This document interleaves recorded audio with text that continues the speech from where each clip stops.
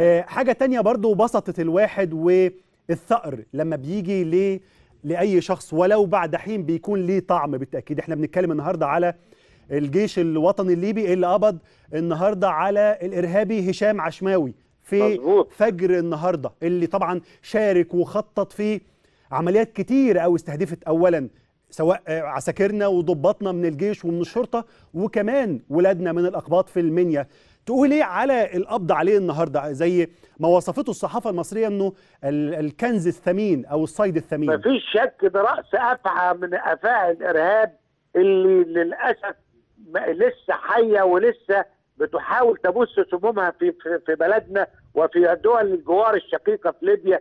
هم دول اللي الحمد لله بقول أدي أول افعى النهارده بتتمسك من رأسها وفي افاعي كتير الحمد لله تم القضاء عليهم.